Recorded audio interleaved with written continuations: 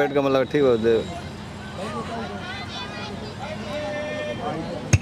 और अंपायर का इशारा वाइड और इस अतिरिक्त के साथ स्कोर बढ़ता हुआ।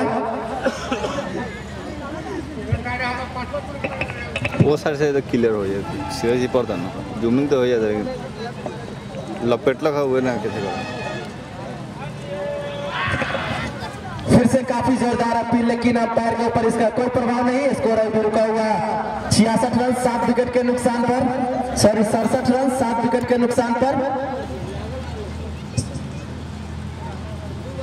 67 और इस तरह से जो कि हर एक विकेट पर छोटू श्रीवास्तव की तरफ़ से बीस रुपए का इनाम रखा गया है तो शाहनवाज इस इनाम को जीत चुके हैं।